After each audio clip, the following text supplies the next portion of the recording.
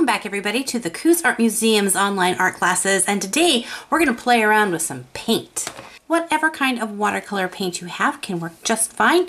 I'm using a Prang paint. This is one that's really popular in our public school systems so a lot of kids have these in their stashes but if you have fancier paint you can use that. If you have less fancy paint you can play with that. We're just playing with some color. So of course you're going to need paint you're going to need some paper to color on or to paint on and I would recommend to use a thicker paper like a cardstock or if you have watercolor paper this would work great. I'm using a mixed media so it's nice and thick. We're going to need some paint brushes. I have a couple of different sizes. I have a bigger one and a smaller one, whatever size you have. I have a little piece of paper towel that I can use to wipe up any kind of messes and clean up my brushes. I'm going to use just a regular pencil with a nice eraser on the back to kind of sketch in my design. And then I have a little cup of water right here. And that's all you need. For this painting, we're going to be creating one of my favorite animals, which is the panda bear. They're so cute and happy, and I thought it would be fun for us to paint. So the first thing we're gonna do is we're gonna sketch out our panda bear, but we wanna sketch really lightly. If you push hard with your pencil, you're going to leave a deep, dark mark in there, and it's gonna be hard to erase that out of there. So I draw just as lightly as I need to, just so that I can see it, but it's really easy to erase. So for the first shape I'm going to do is I'm going to do the head of the panda, which is kind of a circly, ovally shape.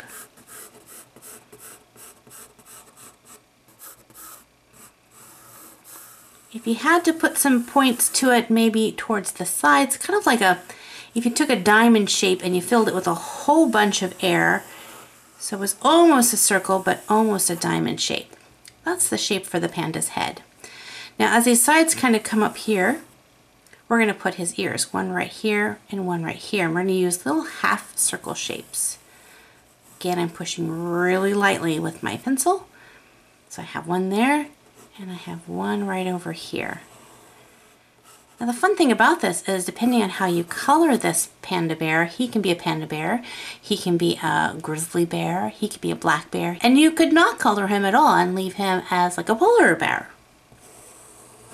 We have this kind of roundish, circly diamond shape with two ears. And now we're going to put in his eyes. So right about here where this, where these ears are ending, I'm going to come right into the middle and I'm just going to very lightly block in two circles.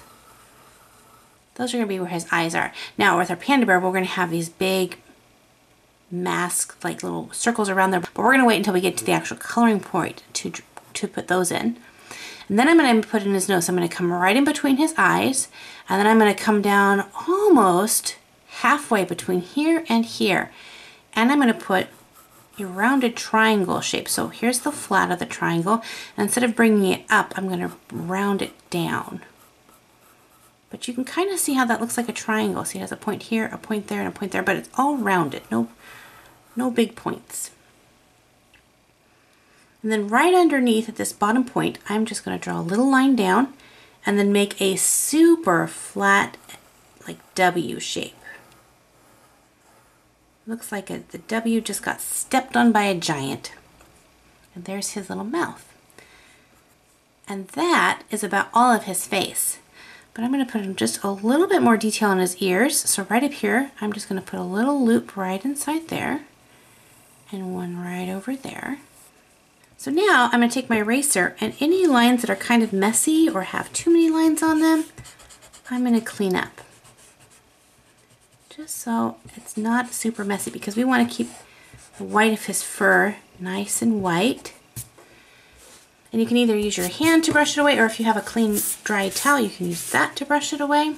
So now that we have our little panda bear sketched in, we're going to go ahead and move on to the coloring or the painting part. If you're not yet happy with how your panda bear looks or the shape, just pause this video and I will wait for you and then we can start painting together. And you'll see I have lots of different colors in here and we're tempted to go right into the nice black here. But before I jump into the black, I want to add a little bit of shadow to his white fur. So we want to do that first. So what I'm going to do is I'm going to take my paintbrush and I'm actually going to dip it right here in this purple. You can see right there, it's this nice purple color. And I want just a little bit of purple and a lot of water. So I'm gonna put a lot of water. These are called wells.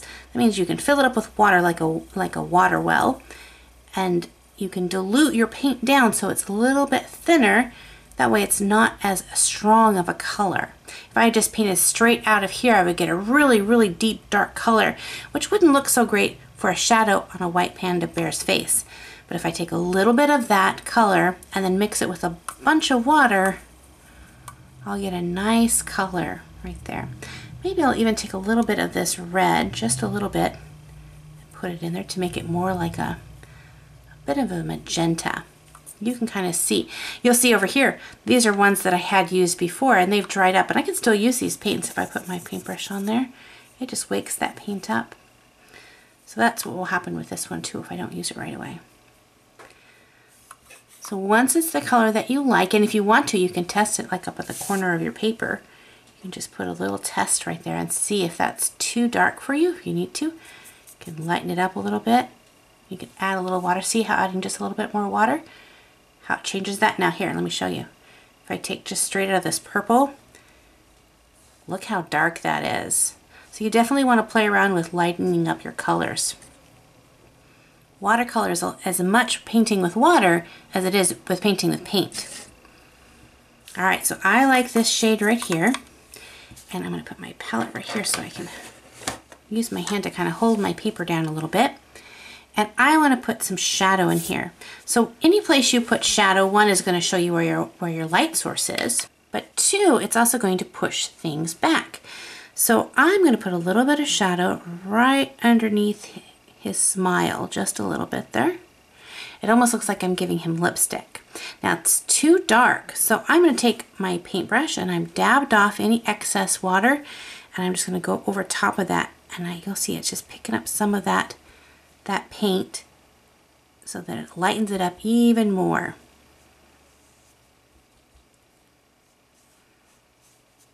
So there's a little bit right there, so that pushes that back. I'm going to go back and pick up some paint here and I'm going to put a little bit right between his eyes. I want to push this nose forward, so I want to push this back. And again, I'm going to dab off my excess paint and I'm just going to smooth that out. Now, if you find that this is super dark, maybe it's this color here and you you think you just turned your panda into a raccoon, well then you know you need to water down your paint. And this, you'll learn how to do this. The more you paint, you'll get better and better and better at this. And then I want to put just a little bit of shadowing right around the side. So again, you'll see that my shadow color is almost clear water. It just has just a little bit of pigment to it. And when this dries, you, you almost won't even see it. And we want this to dry before we go back in and add in our black for our masks of our panda. Because if we don't, then anywhere the paper's wet, that watercolor is going to go spooshing everywhere. So you want your, your paper to be really dry before you add any dark colors in there. So you'll see I've kind of softened around the edges. I brought some edges down around here. However you want to do it. And if you want to skip this part, you totally can if you don't want to add shadow. I just find it's easier to add shadow now than it is after I get everything painted. And you might see I put my, my uh, paintbrush back in just plain water. I'm just kind of going through and just kind of moving things around if I have too harsh of an edge.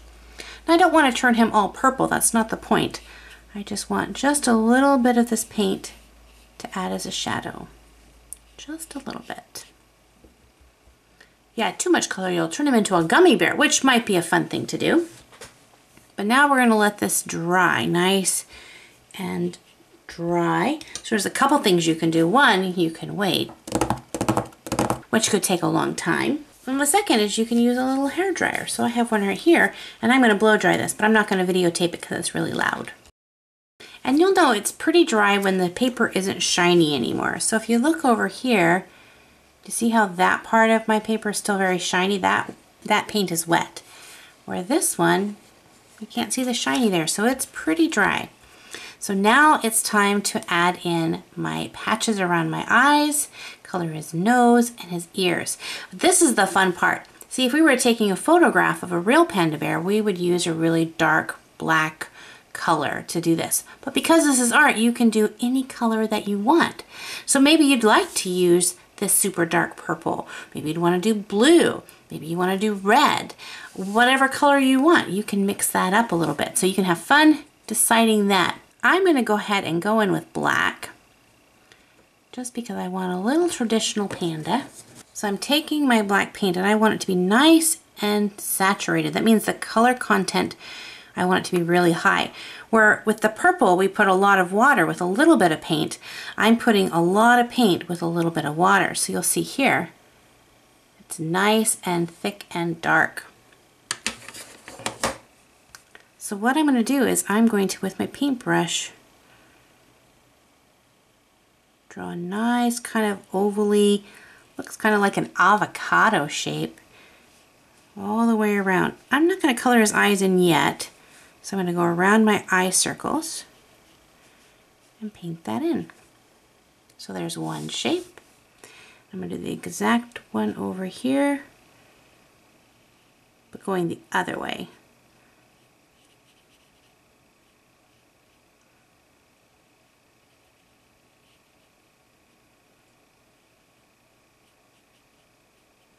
So there's that one. You can see they're a little bit different, so I can go back and kind of fix one if I want it to. Grabbing a little bit more paint because I'm starting to run low on paint on my paintbrush. And go nice and slow because you can always add more paint. But if I go too fast and go whoop off the side, it's going to be hard for me to fix and I might have to turn him into a black bear. You'll also see that I'm using the very pointy point of my paintbrush. That way I can get a really fine line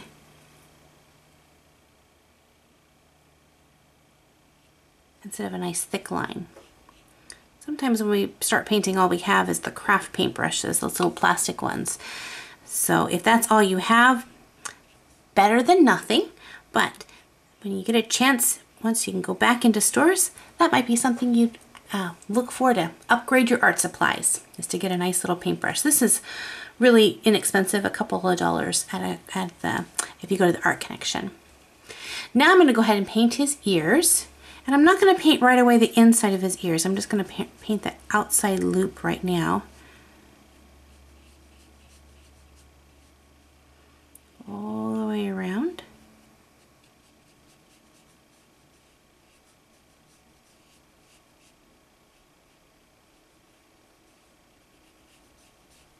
So there's one little ear. I'll grab some more paint.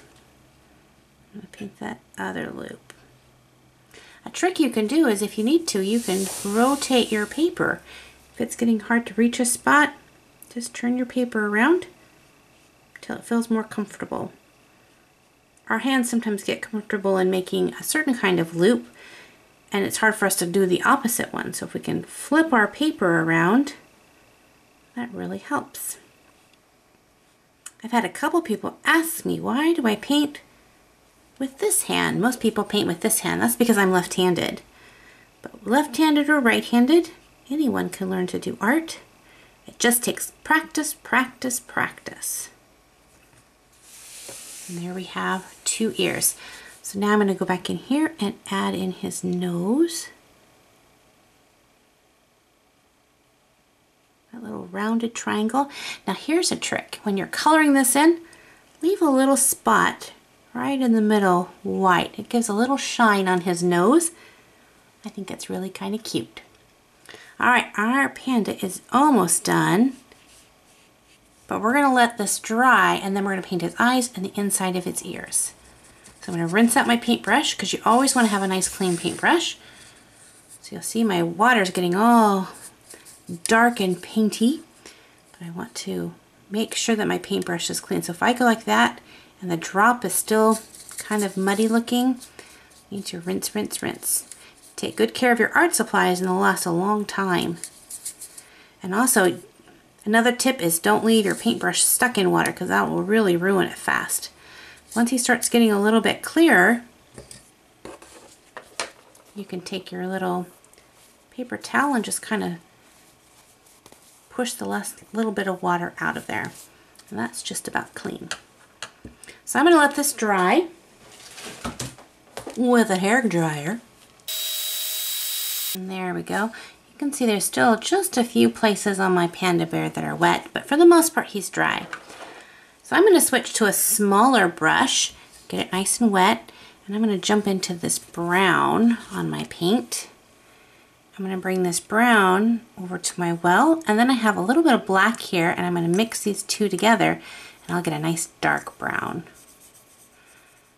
It's always nice to mix your paints on the on these wells and not in the in the cake pans themselves. Otherwise, you'll end up with some messy pans, which you can, you can clean up, but it wastes a little bit of paint.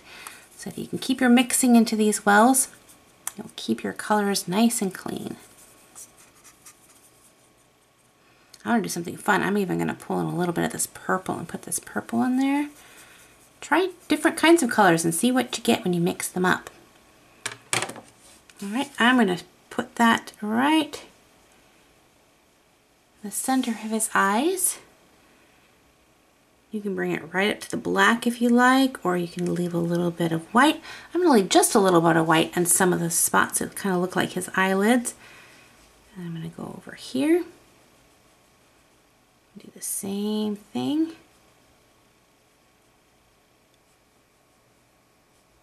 You'll find with a nice thinner brush like this, you can get even smaller spots.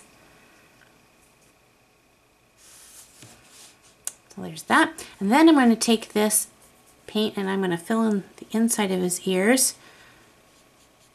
So there's just a little bit of color difference. That'll just add a little interesting things to your painting.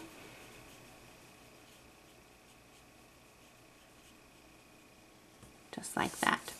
Now if you have a thin, thin brush, go right up on that point and I'm going to just very carefully color in his mouth. If you don't have a thin brush, you could use a pen to do this. Or a colored pencil, something that has a nice point to it. You can even take and make little tiny fur marks all the way around that circly diamond shape. Just like this to make little hair marks. Just tiny ones. Not too crazy or it looks like he's having a bad fur day. Kind of going in the direction that the fur would grow. So when you get up to the top here, some of it goes this way and some of it goes that way. I might add just a little bit of ruffle right there between his eyes and maybe just a few ruffles of fur right here on the sides of his nose. There we go. We are just about done. We're going to do one more thing, but I have to wait for this to be completely dry. So let me get my, my hair dryer out and dry this out again as soon as I clean my paintbrush. So for this part, he has to be really dry so you can see the inside of his eyes are not shiny. There's still a little bit of wet on his ear. His ear was very wet, but his eyes have to be dry. And you can even do the finger test where you touch it with your finger and if no paint comes up, then you're pretty good. So I want to put some shines in his eyes. And for that, I'm going to use a color pencil. A tiny itty bitty color pencil because I guess I use this one a lot. So what I'm going to do is I'm just going to put in a little circle right there. And it's just going to give him a little bit of shine on his eyes. You don't want to fill the whole thing in, but if you look at it in the mirror at your eyes, you'll see that your eyes reflect the light. And sometimes you can see the light bulb in your room or the sun. And you can see some of those. You can also use this to kind of add a little reflection on the inside of his ears where maybe the light is kind of shining on that. You put a little bit of that under his eyes if the light is shining on, on his fur a little bit It's wherever you think it might work. The more you experiment, the better you're going to get. You might think, oh, I ruined this picture, but you never ruin anything if you learn. So if you do something and it doesn't work out that one time, well, the next time you try to draw something similar, you'll remember that and you can try something different. But there we go. We have our finished super cool panda bear that we painted. If you drew up your own panda or maybe even painted your own panda with us, I'd love to see a picture of it. So make sure to tag the Coos Art Museum in any of your social media posts. If there is an animal or something special that you'd like to learn how to draw, let me know in the comment section below. We'll put that on our list. I want to thank everyone who's been sharing these videos, families that have been telling me that your guys are drawing together. I love that families draw together and create art together. Don't forget to wash your paintbrushes and your hands, and we'll see you in the next video. Bye-bye!